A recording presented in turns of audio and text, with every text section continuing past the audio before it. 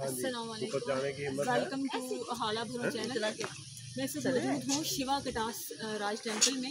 और जो मेरे पीछे आपको तालाब नज़र आ रहा है इसके बारे में हिंदुओं का ये कॉन्सेप्ट है कि जो शिवा था उनका महाराज उनकी बीवी की जो वफात हुई थी सती की तो उनके याद में जो उन्होंने आँसू बहाए थे उससे ये निकले हैं चश्मे दो निकले हैं।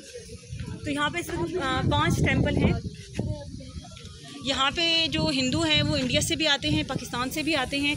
मार्च और दिसंबर में उनके त्यौहार होते हैं और यहाँ पर जो है वो नवाज़ शरीफ ने ये फ़िल्टर भी लगवाया हुआ है। यहाँ से हिंदू आके पानी लेके जाते हैं मुक़द्दस चश्मे के, पानी के तौर पे।